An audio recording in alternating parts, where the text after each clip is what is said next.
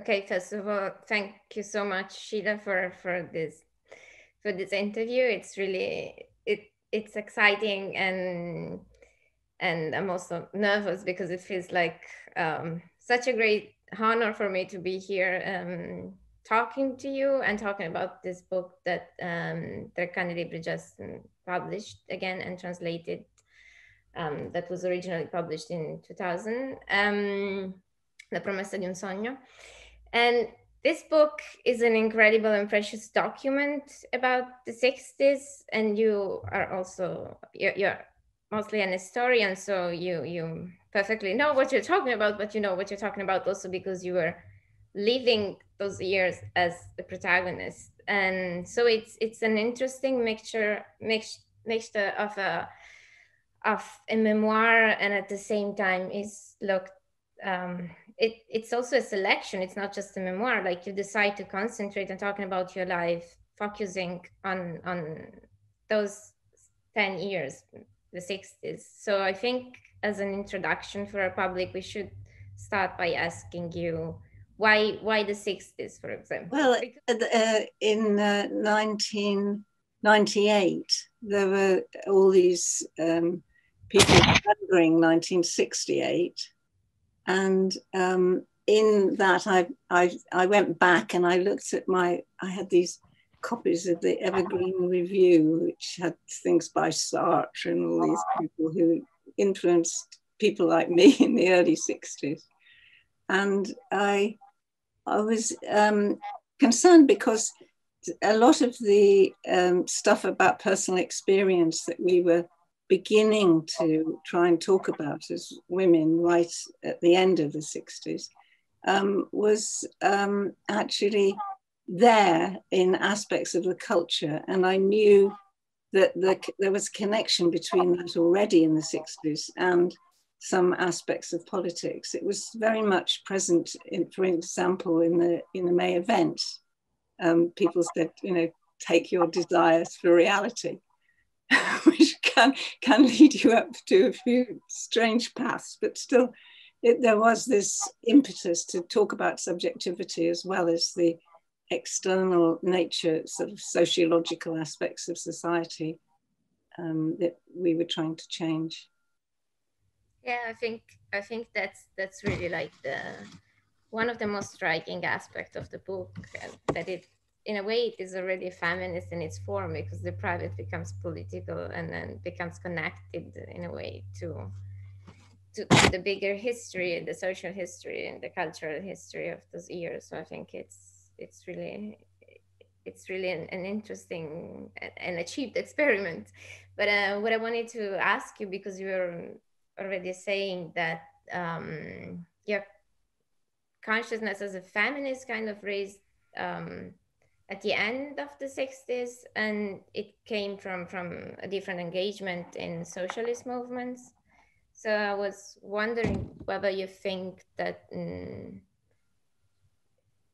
i don't know I, I, was probably wondering if you think that the the other way around uh, is also possible that like from feminism um, a bigger like or a deeper consciousness of also like some other social issues can emerge I, I, I'm sure that it does. And it depends very, very much on circumstances. And also, I think the people that you come in contact with. Um, and it, it, it was a, a constant learning process because when we started the very first groups in Britain in 69, um, we were incredibly anxious, the ones of us who'd been influenced by the left, to try to involve working class women, but they didn't want to come to our consciousness raising groups because they had so many things, other things to do. The idea of having leisure to sit around talking about your inner feelings was impossible, except in snatches between um, looking after children and doing part time work.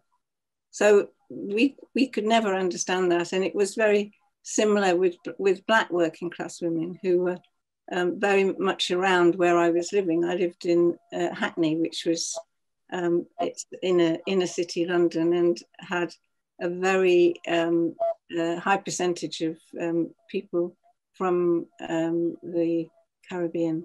So um, my neighbours were living very different lives. And I, I found that the things that I was worried about, which were very much um, feelings of um, really been silenced as a, a, as a young woman who had been taught that by being educated you became equal with men.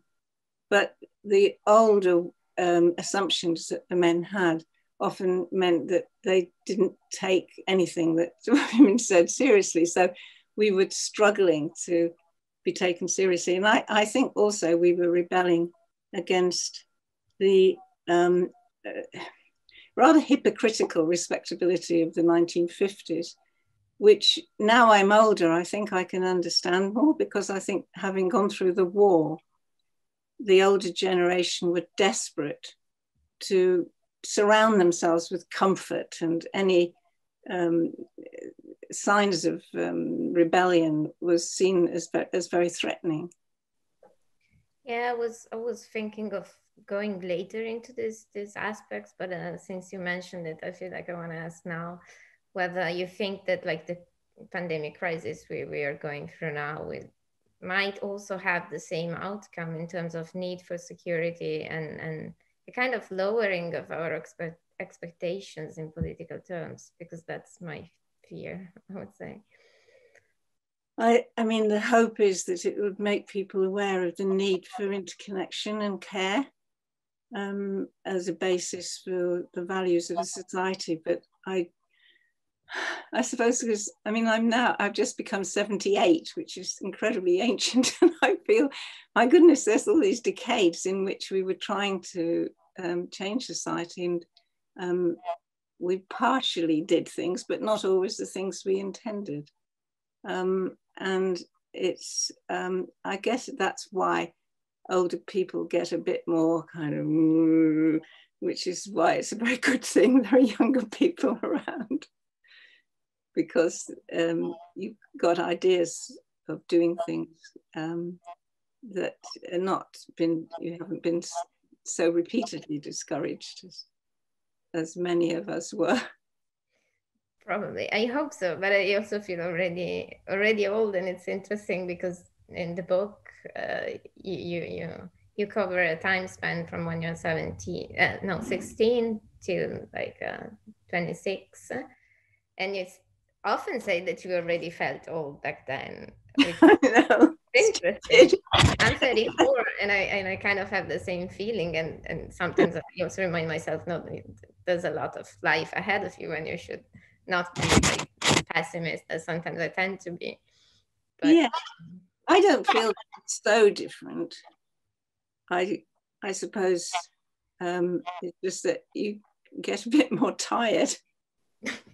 yeah, that's that's probably what happens. Um, I wanted um, to to keep um, reflecting on the book. I, I have a quote that I think it's it's it's great because it kind of summarizes some of my questions or things that things that probably um, are still being discussed by now and and you also like ask them as questions in the book so i'm gonna quote I was already troubled by two questions which were to cause many an anxious debate in the 70s, asking my diary first whether the prevailing culture of masculinity was only a consequence of capitalism or was there something some underlying structure which we were to call patriarchy. Secondly, I wanted to know whether we should concentrate on changing the attitudes and behavior of the revolutionary left or try to reach women in general. And I was wondering, like, I think this had been for you also the lifetime work like to reflect on this on these things in terms of um, strategy I, I assume also and so I was wondering what what are your conclusions after 60 years from then almost 60 years from then well I I those of us who started the early women's liberation groups disagreed with some women who were in left groups who said um, the oppression of women is just caused by capitalism. So we, we said it uh, pre-existed. And um, we, we read Simone de Beauvoir a lot. And Simone de Beauvoir used the term patriarchy. And uh, when Kate Millett in America wrote a very early book, she um, on sexual politics, she also used the term patriarchy. And so in the early uh, 70s, I, I just took over that term. But gradually thinking about it, I thought this is a confusing term because it, it tends to imply a certain form of male control. Um, the control, the immediate control of a man in the household over the women in the household relating to, you know, agricultural societies and um, the ownership of um, the um, homestead and the land. I decided that um, what we needed to think about was the ways in, in which capitalism had changed these relationships of gender and had created both um, more um, isolation and um, economic problems often for women, but at the same time had created openings which enabled a different degree of freedom for women, even though um, it was curtailed in, in many ways for particularly for poorer women. So I wanted to not have just the idea of a small elite moving upwards through um, gaining equal opportunities um, as the way of emancipating women. And that was the reason why um, I began to feel that having just one term like that, which suggested, I mean, other feminists would argue with this, but I thought it suggested a particular continuing form of uh, male control. Whereas strategically, it seemed to me that you needed to historically look at the opportunities for women in, in different kinds of societies. In, in the history of Britain, um, for example, it seems that even you know in pre-capitalist times, um, Anglo-Saxon women could own, um, you know, be given land and own land.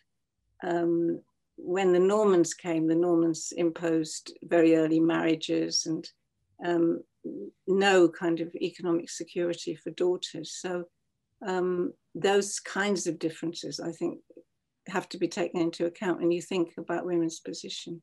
But no, hardly anyone agrees with me, and everybody uses the term patriarchy.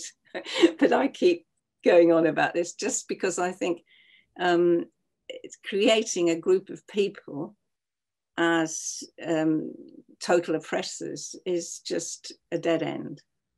I don't believe that that is how men and women relate. I mean, men can be um, violent and oppressive, but also women are, are not sort of innocent type people all the time. They they have their own ways of organizing and resisting, and um, sometimes could be um, oppressive to to others. So I I don't see that men are all bad and women all good.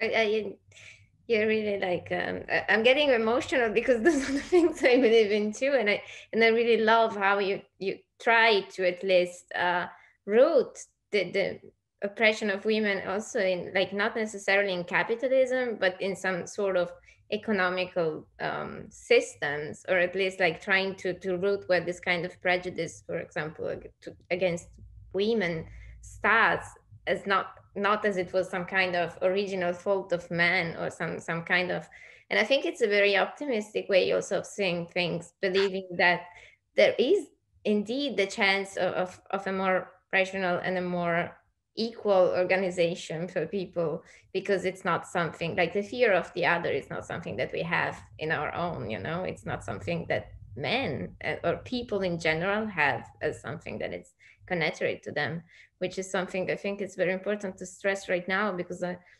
this is just my my I don't know my observation of how today also many many women's struggles have been uh, flattened by the media as there was like this kind of gender divide or gender fight which which I think is very it's very sad but it's an actual risk of how the mainstream kind of appropriates some kind of grassroots struggles. I don't know if you agree. And this is not actually a question; it was just a personal consideration. But um, but it is really important because I, I think otherwise you just go back to an old style. I mean, before we had any kind of women's liberation movement, women of an older generation would just say, "Oh, men are men, and you know, and they do this, and women uh, uh, have to do this," and it seemed so depressing that this was the the only kind of dichotomy that you can think of, and um, so I think it's helpful to try and understand strategically where the openings are and the possibilities. Totally, and I think, and I think one of the passages in the book that most like struck me the most uh, was when you tell about. Um, I don't know if you want to go into this, but I'm gonna ask, and if you don't want to talk about it, you you just tell me.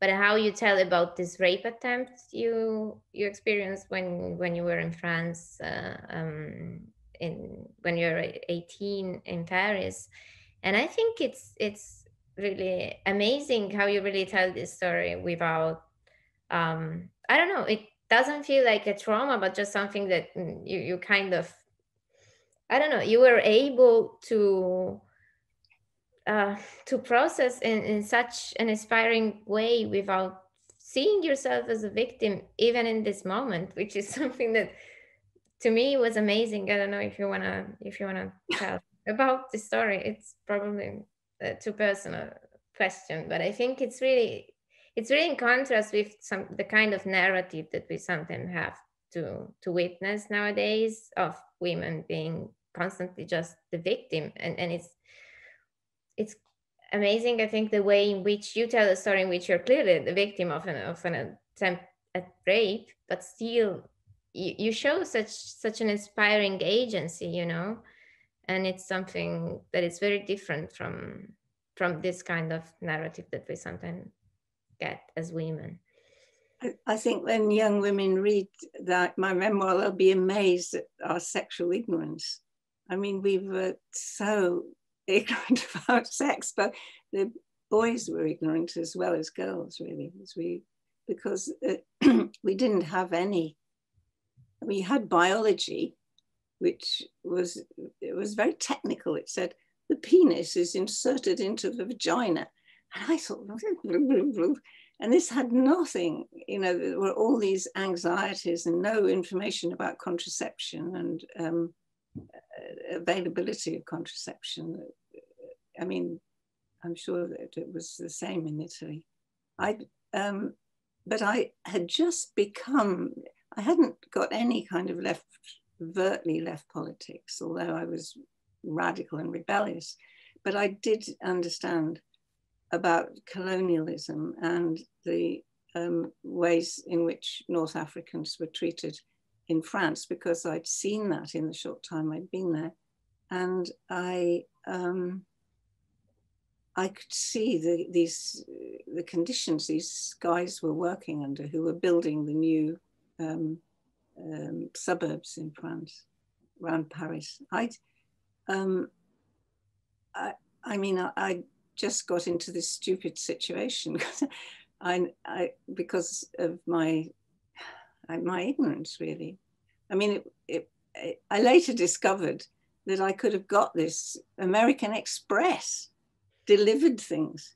I didn't even know that such things could be done. I just thought I had to go and get this trunk, uh, which I was going out to the suburbs to collect, which my parents had sent. And then, uh, having asked the way of an older woman, she asked a young man, and um, he mistook the situation and um, just, you know, took tried to take sexual advantage.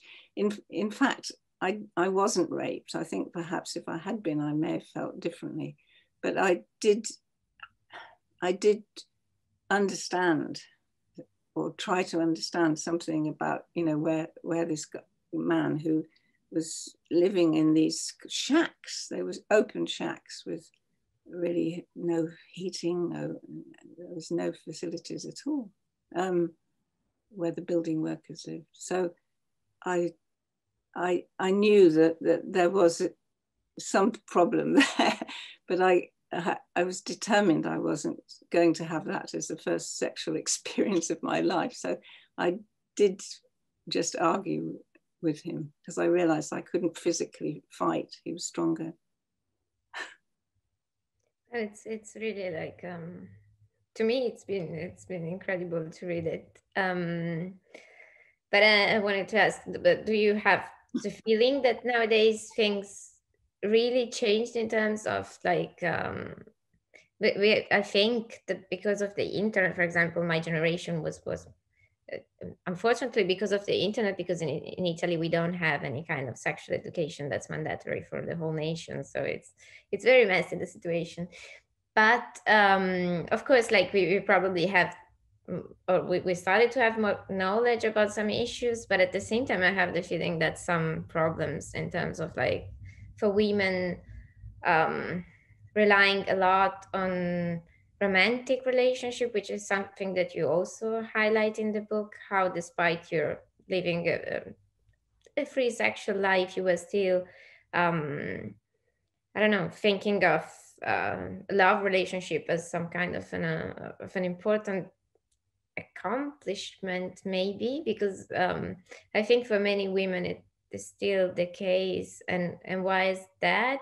And why and why is it something different to say that a romantic relationship is an achievement in a way or a step that you have to go through or something that you might want and, and experience in your life because i don't think also that um, romantic relationship are something completely bad and we should get rid of them that's not what i'm saying but what i'm saying is that it's interesting that despite the fact that we might be more aware of um, i don't know the, the chances that we can um, take as, as, a generation in terms of um, of sex. At the same time, there's still it there still are so many so many.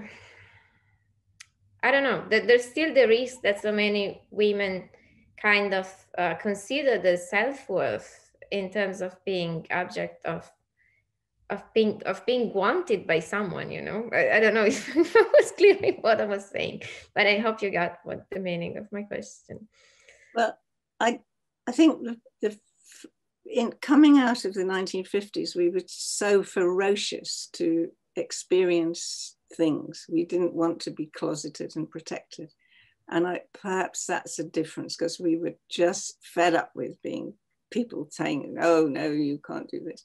I mean, it was somewhat better in Britain than in America, and then in, sorry, in not America, in France. Um, um, but at the same time, there was still this thing about virginity, and this was, this, you know, such a commotion about that. But I, um, so we we rejected all that, but then that left us very vulnerable, really, even though we were quite privileged young women because we'd been educated. Um, so I think there was that fight for personal autonomy and freedom, and then um, a contradictory desire for romantic love because that was very much what we'd grown up on on films and things in the 50s.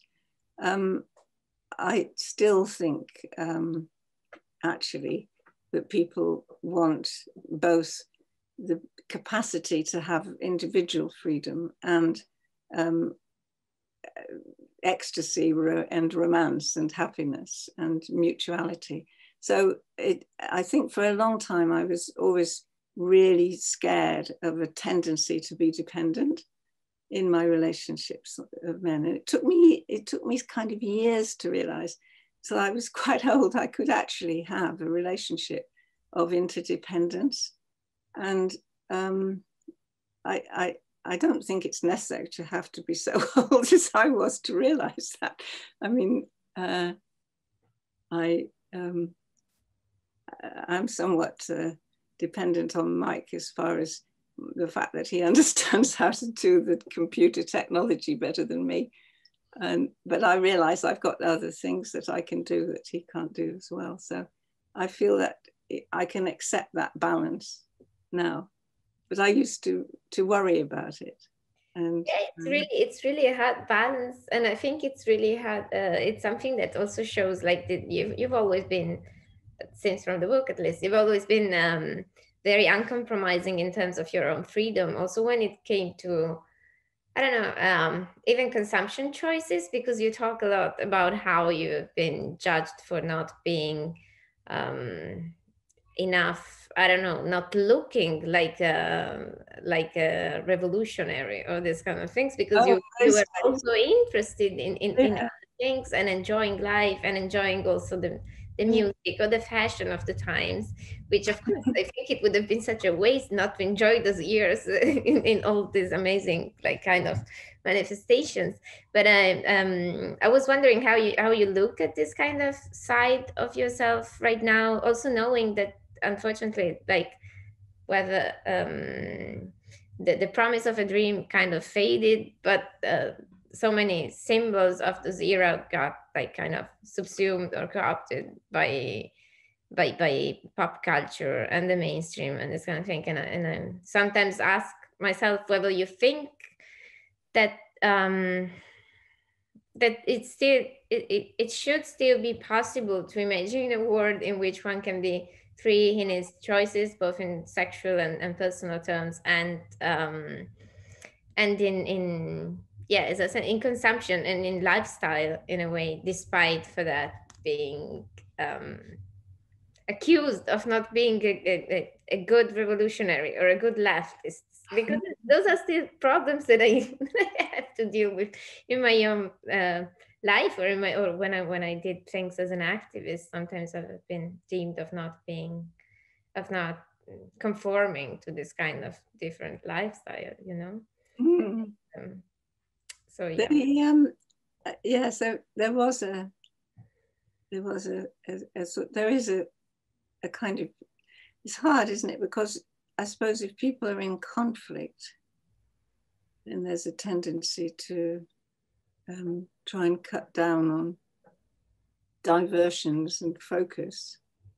But I mean, the reality was that we weren't, I mean, although we were opposed to capitalism. We, we weren't in some sort of guerrilla battle, physical uh, fight or anything. We were, we were living normal lives of teaching or working and um, doing whatever we were doing. I um, so it, it, wasn't very realistic. The, the, the left groups of the time having this idea that we were all having to have this puritanical strip down. The um, I heard from an American friend whose um, parents were in the Communist Party how when she interviewed older communist women in America about the time when they were communists in the third in the uh, Cold War, she um, was was very amazed because these older women said that the, there had been a time when the American Communist Party said they shouldn't have any babies because fascism was imminent. And um, the, the, this woman said, We stole the sperm. so there was this kind of subversion by women of the, of the ideas that the guys had about um, need to be ready for some kind of um, iconoclastic event. It's a great story, and I and I really believe like that. Mm, yeah, trying to hold together like happiness and and engagement is really the key. Like you can't have just one, and I think your life is a great example of that, or at least the life that you tell in the book. Um, a friend called Lynne Segal uh, wrote, uh, who's a feminist and a socialist, wrote a book about radical happiness recently. I'm, I'm gonna I'm gonna read this. Um, but I wanted to ask since since really like um, your um, your book is so about how your theory has been influenced and sometimes challenged by your experience and your, your practice your practice uh, both as an activist and as an individual the fact that right now we are really um, it's really hard like to to meet people and, and, and interact with people because of the situation like mm. I, I feel like we are all in this not together but all in this apart and and i i i see how this radicalizes in in polarizes i would say rather than radicalizing which wouldn't be a bad word but how it polarizes the, the, the debate the fact that we're all constantly recently just interacting virtually. Email and things but i i haven't got any other social media. I only have email. But email's bad enough for me because i end up sort of going like this all day. And then i think well i might as well have a job. What am i doing? I'm meant to be retired you know. Yeah it's really there's these because it takes me a long time doing emails. I I got a problem with my wrist in the 90s of um, repetitive strain injury, so I can't really just use smartphone and I have to be at a particular level and stuff. I so it means that I'm stuck with the computer all day. Yeah, yeah, yeah.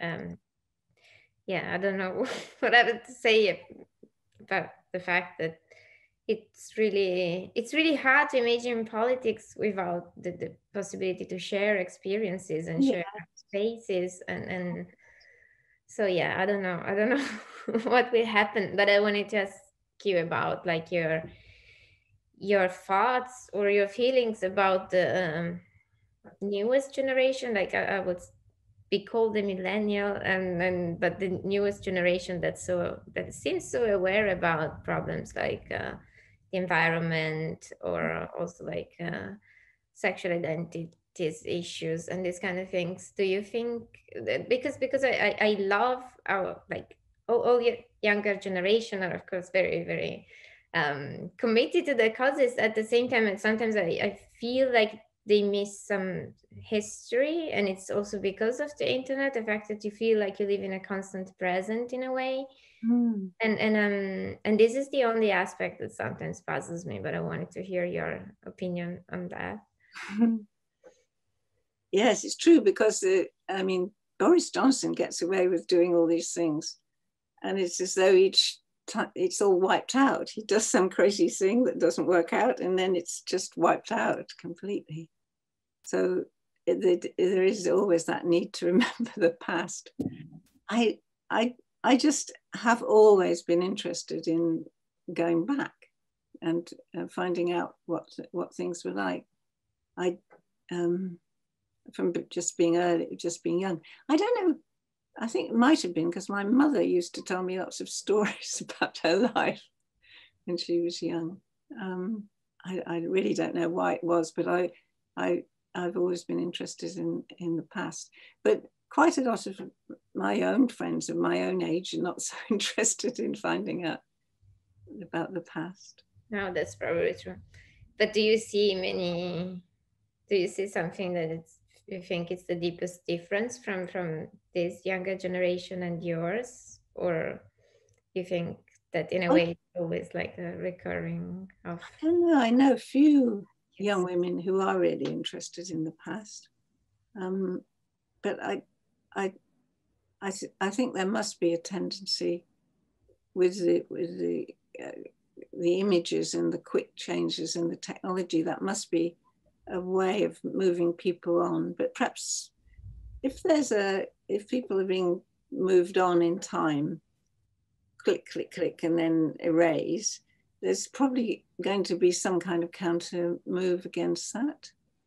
People will want to return to, to more um, going back and looking at archives and memories and um, and I mean people are interested. I mean I've I've been um, through lockdown. I started to write about the seventies, and um, really? Yes, I've nearly like it, the, the sequel of Promise of a Dream. yes, it's just it's 20 years later or so.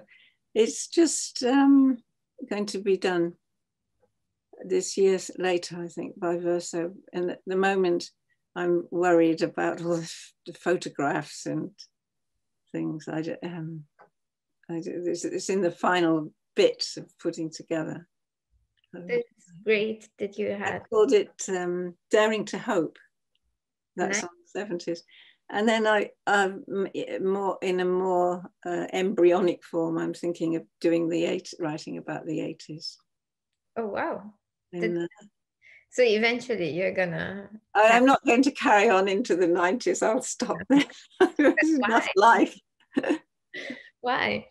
It's so amazing to see, like really. I, memoir and in so many volumes it's like uh, but it, you you've been you've been a, a student of Eric and a friend of Eric Hobsbawm, so you're not afraid of, of writing like this very long books on history.